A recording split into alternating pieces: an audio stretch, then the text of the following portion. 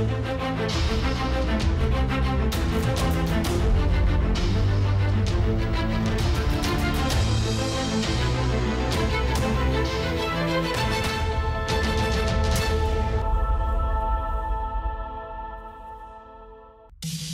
одново го демолираше Митиланд.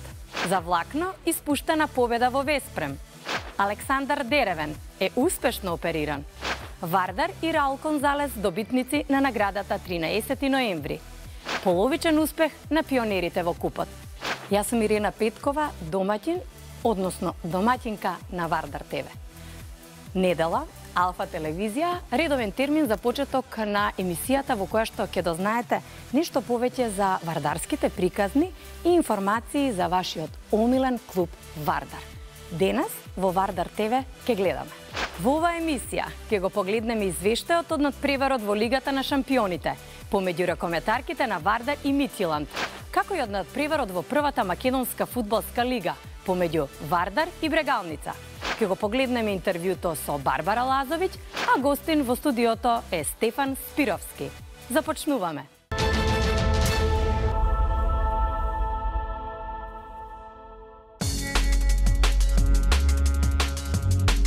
Нашите вардарки остварија голема победа на гости кај Митиланд со 25-15, со која го обезбедија пласманот во следната ваза од ЕХФ Лигата на шампионите. Нашите девојки одиграа безпрекорен надпревар и феноменално второ полувреме, во кое примија само 4 гола. Токму на стартот од вториот дел ја направија разликата која го реши мечот, скратувајќи ги надежите на Митилан дека може да направи нешто повеќе. По 12-11 за нас на одморот, второто полувреме го отворивме со серија од 5-0, која благодарение на изворедната одбрана потоа продолжи и до 8-1. Митилан погоди само еднаш во периодот до 48-та минута, за да намали на 12-16, а потоа повторно продолжи доминацијата на Вардар. Беше 20-12 за нашите ракометарки, кога данките излегоа од шокот и постигнаа три гола, за да намалат на 15-21. Меѓутоа, по таа 54-та минута, веќе не успеа да ја загрозат Амандин Лейно, која имаше блескава вечер со 19 одбрани. Митиланд успеваше да се носи во првото полувреме, кое беше рамноправно, со водство и на двете екипи. Прв почна Митиланд со 2-0, па потоа и со 5-3, но Вардарки направија серија од 4-1 за да поведат со 7-6, прв пат на мечот во 17-та минута. Имавме два разлика. 11-9 во 26-та минута.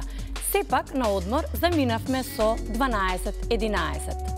Ако во првиот дел можеа да се забележат некои грешки во играта на Вардар, особено технички, во вториот се функционираше како што посакувавме, како што доликува за екипи со шампионски амбиции.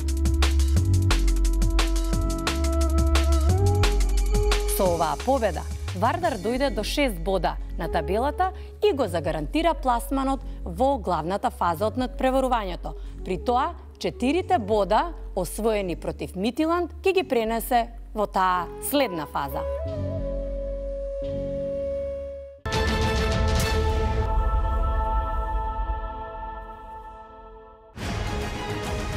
Барбара Лазовиќ е родена 1988 година во Брезице, Словенија. Та игра на позиција десен бек и е словенечка репрезентативка.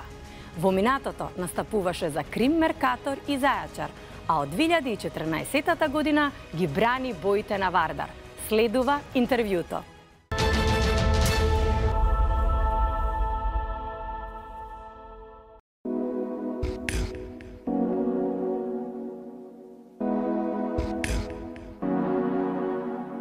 Го искористивме убавото сончево време во месец ноември, заедно со Барбара Лазовиќ дојдовме тука пред спортскиот центар Јане Сандански да си направиме малку женски муабет. Здраво, Барбара. Здраво. Барбара, ти си словенка, настапуваш за македонски клуб. Сакам специјално за гледачите на Вардар ТВ да ни кажеш што научи од македонскиот јазик и дали воопшто го разбираш. Разбирам и наравно научила сам и нешто да кажем, не знам, могу да вам кажем. Убаво ми е во Македонија и чувствувам се добро тука. Со оглед на тоа дека во вашиот тим има девојки кои што доаѓаат од различни земји, на кој јазик се разбирате? Како зборувате? Па веćинома српски, а и енглески наравно, као затоа што помошни тренер Јан прича енглески неколико девојка енглески, мада доста нив со исто веќе научиле македонски, така да они исто доста веќе разум, разумеа. Вардар е клуб со традиција. Предпоставувам дека си задоволна од условите кои што воопшто ти ги понуди и кои што ги имаш овде во Скопје. Ма, јас сум стварно презадоволна со условима. Ја мислим да е Вардар тренутно е клуб со најболим условима што се тиче на рукометној сцени и драго ми е због тога да е еден такав клуб е, sa такvom организацијом и на том нивоју на Балкано и да се улаже у рукомет. На самиот старт од надпреварите од Лигата на шампионите загубивте од Гер. Меѓутоа, потоа за продолживте фуриозно и сите надпревари ги добивте. Што се случи со тој прв надпревар? Па јесте, ми сме изгубили тоо утакмицу, чекали смо е дуго и не, не знам, веројатно смо изгорили у, u toj želji za pobjedom um, jeste da je naš najveći problem to da nemamo jaku domaću, nemamo jak domaće prvenstvo i ne možemo da budemo u takmičarskom ritmu. I mislim da je to najveći problem. Sada smo ušle u taj ritam i, i mislim da dobro dižemo formu. Barbara igraš na pozicija desen bek, što znači deka si levak. Дали може би би сакала да играш крило? Или некоја друга позиција? Јас сум левак и тоа е моја позиција. Имам десино да играм бека и никад нисам имала никакве друге желје да играм на било која друга позиција. Според тебе, кој е најдобро одиграниот надправар на Барбара и колку голови имаш најмногу постигнато? рекордни? Јо, има и доста, стварно... Стварно е, не знам кој би одвоила, jer tu има и за репрезентација доста утакмица кои ми пуно значе и у предходним клубовима. Рецимо, прошле сезоне ми е била најслаđа победа куќи против Джера и будуćност куќи kad smo remizirale. To mi je bilo ono, баш, баш сме се дигле после тих утакмица. Втора сезона си во Вардар, тука си заедно со твојот син Лука кој што има 4 години. Твојот сопруг е исто така ракометар кој што во моментот настапува во Германија за еден германски клуб. Ти си тука со твојот син и сакам да ми кажеш како ги усогласуваш обврските со синот, тренинзите, надпреварите, сипак се работи за мајка. Да, јесте. Било ме е страх prije него што сам дошла, јер сам сама долазила ту tu sa, Луком и nisam bila, nisam znala da ću možda to sve da uklopim, pošto muž je igrao isto tatu u inostranstvo, ali međutim ljudi iz kluba su mi pomogli, brzo sam našla gradinku, dadilju i ovde imam super uslov, imam igroteku i idem na trening, samo ga usput ostavim u igraonici, znači ne može bolje. Барбара, кажи ми, од каде љубовта кон ракометот? Некој од твоето семејство си има занимавано со ракомет и на колку години почна да играш ракомет? Мој брат од тетке почeo да тренира, јас сум тако нега пратила као мала и заволела сам рукомет. И јас sam негде со 11 година почела да тренирам и после тоа, možda са 18-19 почине тоа оно, ozbiljnije, идеш u клуб, почине професионализм, profesionalizam, znam i. Така. Релативно касно си почнала да тренираш ракомет на 11 години. Дали предходно беше дел од оние детски игри кои што се познати во Македонија, на пример ластик, школица, криенка, жмурки кај нас? исто така се викаат. Дали си ги играла тие игри? Pa sve to ono, jurili smo se, e, isto taj elastiš, ma sve živo, stvarno mi smo skroz drugačija generacija kao što su generacija sad, ja vidim po mom sinu. Um, mi smo više se družili, više smo bili na polju, sad je više sve svodeno na te igroteke, na igrice, na internet i to, na telefone. Ja pokušavam što manje da dajem svom sinu, ali ne možeš skroz da mu zabraniš jer to je neka nova generacija. Mi smo, a mi smo generacija između analognog i digitalnog, zato nam je to sad sve neprihvatljivo. Во едно твој интервју, словенско интервју за еден словенски медиум, прочитав дека би си била фасцинирана од македонската кујна. Од оние ритуал кој што го имаат македонците кога ќе седнат на маса, нарачуваат прво салата, раке и сирење, па после два сата веќе продолжуваат со главното јадење. Да, оно, на почетку кога смо дошле, оно, идемо на večeru, оно, ми се наедемо, веќе салата, свега, и онда кога дојде месо, ми више не можемо да jedemo. Ali sad smo naučili da to ide polako i baš nam se sviđa taj ritual. ritual da. Kako se ga Barbara pravi koga uvodi u restoran ili kapana, što naračuva? Pa kad idemo u tradicionalnu makedonsku ono, kuhinju, mislim restoran, naručimo naravno salate, ajvar, pinđer, tikvice i te stvari. Rakija pomalku? Pa nekad kad smo slobodni i to, zašto da ne? Može, da. da. Што мислиш ти лично, кои се ваши главни конкуренти за освојување на шампионската титула или можеби екипи кои што ќе бидат во топ 3? Па ове година е многу јача Лига првака, значи има многу добрих клубова. Ту е будучност прошлогодишни победник.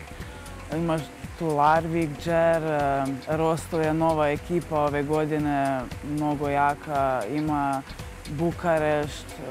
Значи има доста екипа, али ја опет мислим да ове године е, смо ми као тим многу подобри, е, дуже смо заедно и сигурно е тоа плюс за нас. Покрај убавите потези на надпреварите се случуваат и некои кои што помалку ги посакувате. Сигурна сум дека се случило да утнеш зицер и кажи ми какво е чувството тогаш. Се осудуваш ли самата себе? Па наравно, на љуци, наравно на утакмици желиш да будеш најбори, да тим победи, деси се и лоши дани, да ти играш лоше, да цел тим игра лоше, али добро. Сад смо некако научиле да се se да си si позитивна енергија и i смо на na tim да стварно stvarno i Починемо počinjemo да можемо да се дигнемо, dignemo, тоа е je Да веруеш у своје svoje, svoje igračice, da veruješ u sebe i onda je. Барбара, ти благодарам многу за разговорот кој што го имавме вака во надворешни услови. Убаво ни дојде ова ноемвриско сонце тука пред спортскиот центар Јане Сандавски. Ти посакувам многу успех како на приватно поле, така и успех твој заедно со девојките од ракометниот клуб Вардар и нормално Значи, многу многу сакам да ја освоите лигата на шампионите оваа година. Ова беше Барбара Лазовиќ за Вардар ТВ.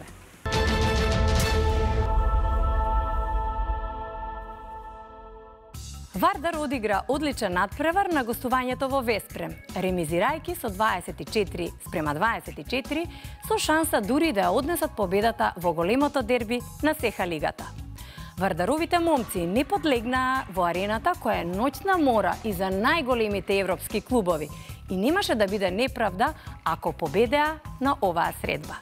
Нашиот тим беше оној кој го имаше водството, речи си постојано – почнувајќи од првите моменти кога отворивме со 2-0. Сега и ние и Веспрем имаме по 19 бода, унгарците на втората, Вардар на третата позиција за Татран, кој води со 21 бод. Ова беше меч од второто коло, кој беше одложен дури за 10 ноември.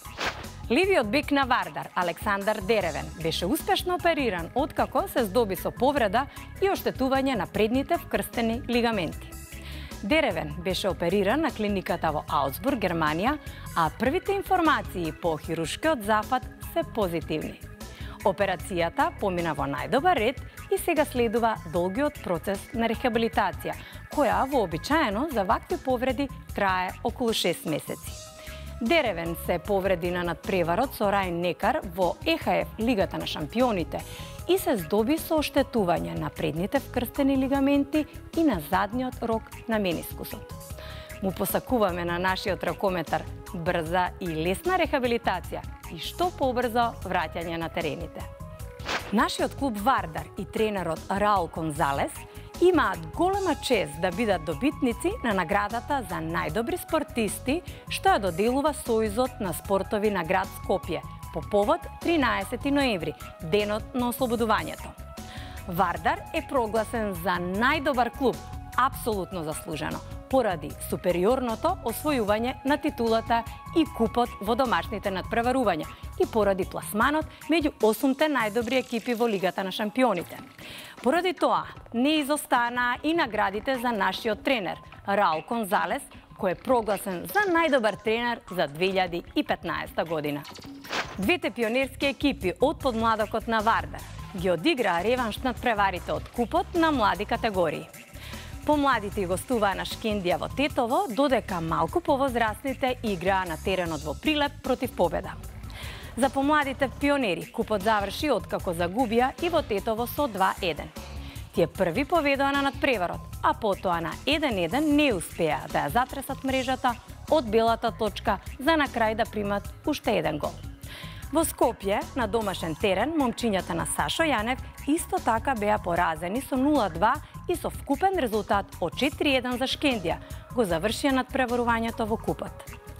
За разлика од помалите колеги, пионерите на теренот во Прилеп го осигураа местото во понатамошната фаза со триумф од 4-0. Стрелци на головите беа Кренар Дрлиста, Марко Георгиевски, Кристијан Ристовски и Јакуб Бериша со вкупен резултат од 7-0. Тие продолжуваат понатаму во полуфиналето од Купот.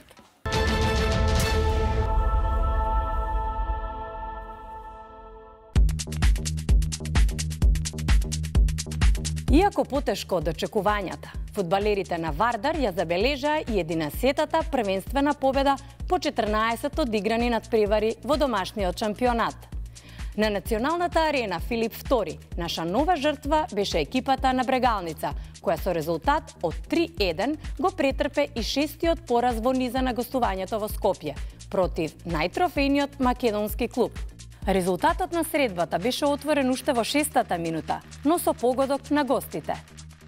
По еден слободен удар од околу 30 на метри по левата страна, Ангел Нацев доби употреблива топка во нашиот 16-тик и со одмерен удар го матираше Пачовски, по точно 523 минути без примен гол во првата лига.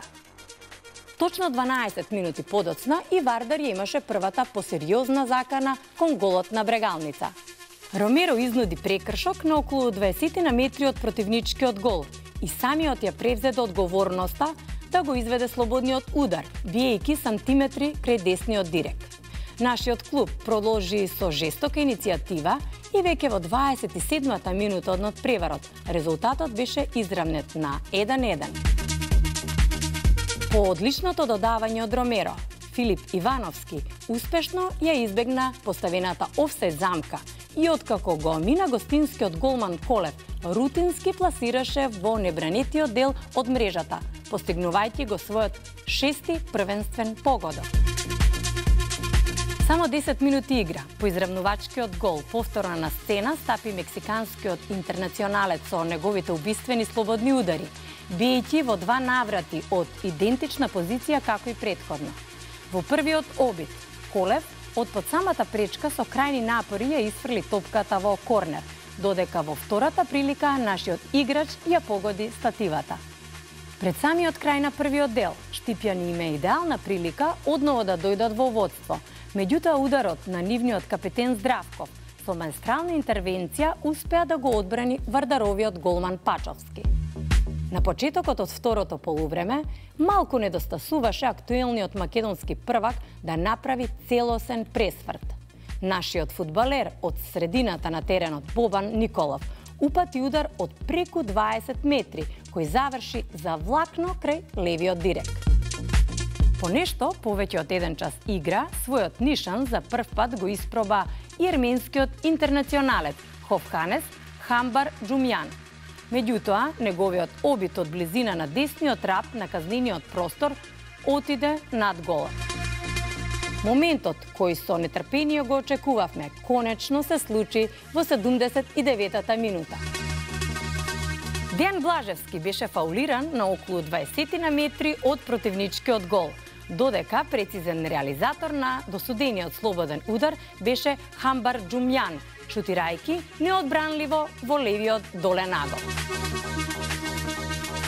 Четири минути подоцна, нашиот нападјач Блажевски успеа да изнуди удар од белата точка, кој самиот го претвори во погодот за недостижна предност од 3-1, што на крајот се испостави како конечен резултат на овој дуел.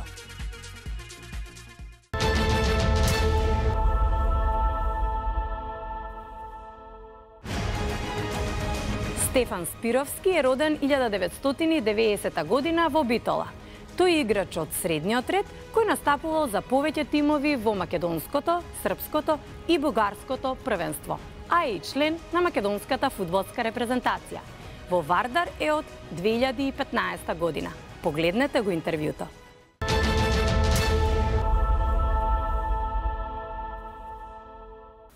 И Стефан Спировски од фудбалскиот клуб Вардар го имаме во денешното издание на Вардар ТВ.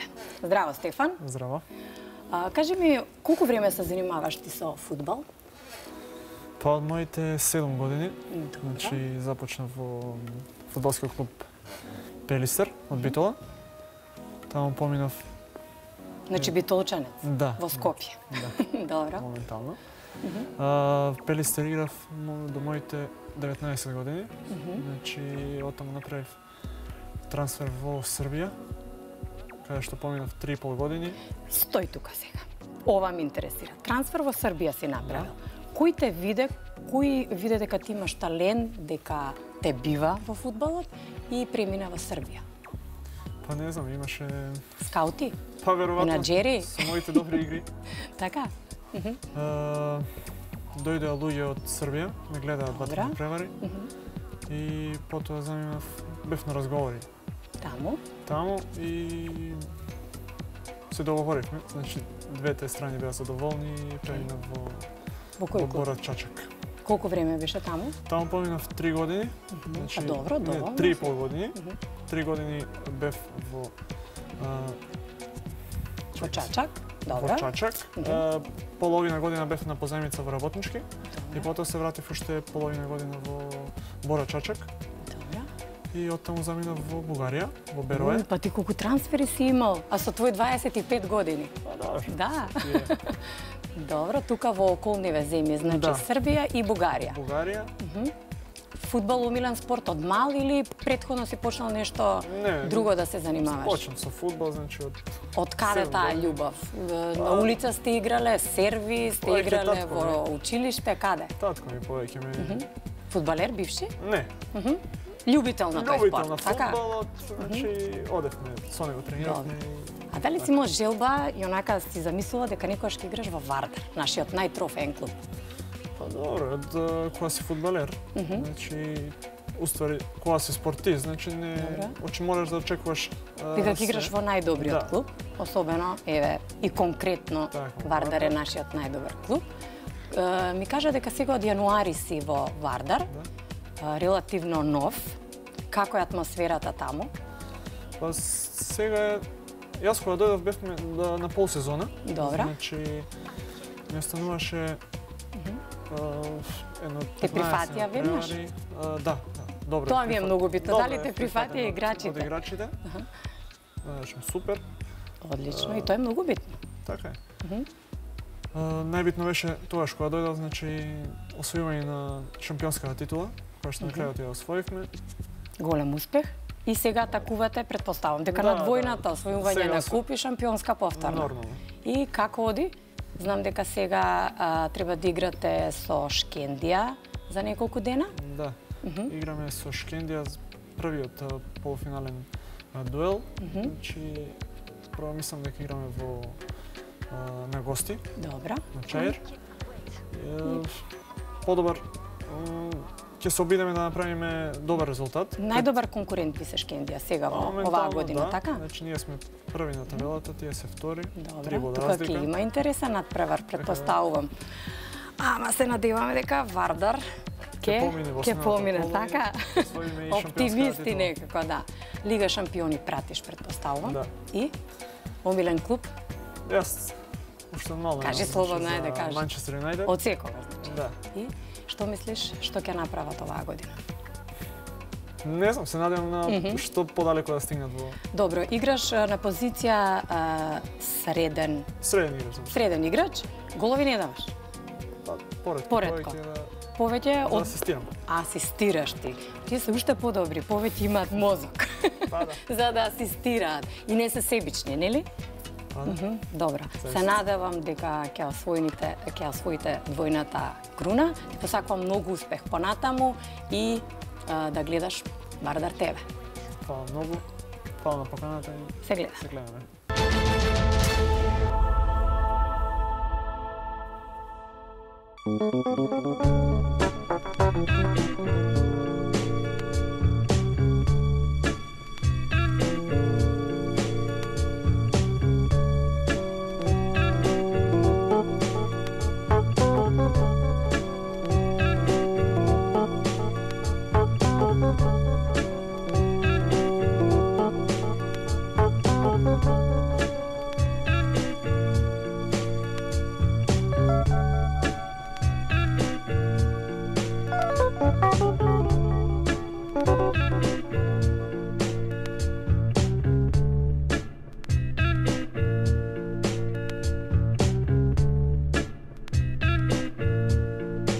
Фудбалерите на Вардар денеска го одржаа својот редовен тренинг и беа посетени од дечињата од детската градинка Кочо Рацин. Може би помеѓу нив се наоѓа некој фудбалер или иден талент на Вардар.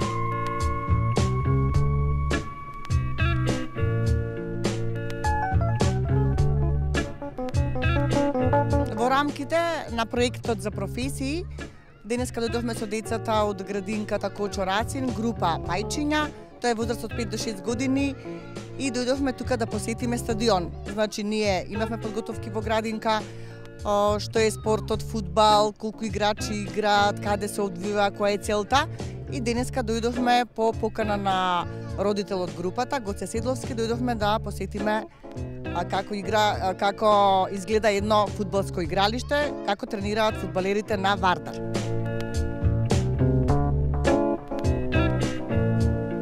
Било ми е што ете децата дојдоа денес да се дружат со нас. А, мислам дека почесто треба да се случуваат вакви работи во ФК Вардар, затоа што децата се нашата иднина и може би еден ден од овие деца ќе биде некоја идна Вардарова фудбалска звезда.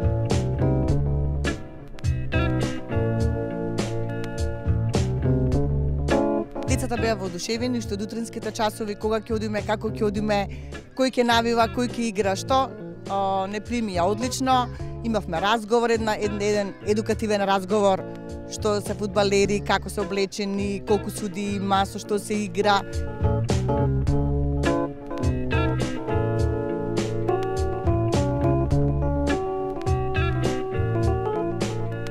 Па добро, огромно задоволство за нас представува тоа што дојдоа дечиња од градинката Кочорацин и би сакале понатака да се дружиме затоа што за нас представува како што кажав огромно задоволство се надевам и, и, и на дечињата бидејќи се надеваме дека барем еден играч да дојде на Вардар од овие дечиња ние сме презадоволни. Се надевам дека и во иднина ќе продолжи дружбата не само со таа градинка и со останатите и едноставно на дечињата да им го вродиме да им ја вродиме таа љубов кон фудбалот.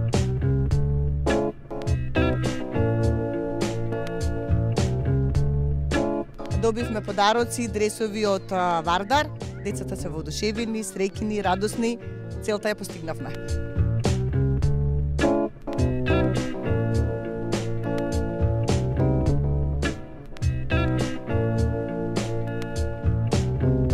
Благое, дали знаеш ти што е фудбал?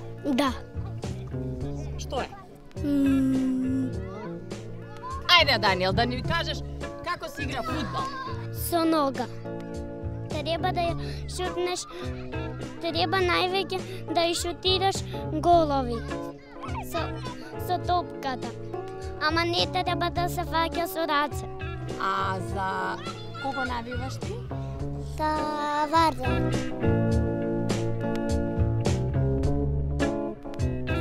Чувате ли? За кого? Не слушнав.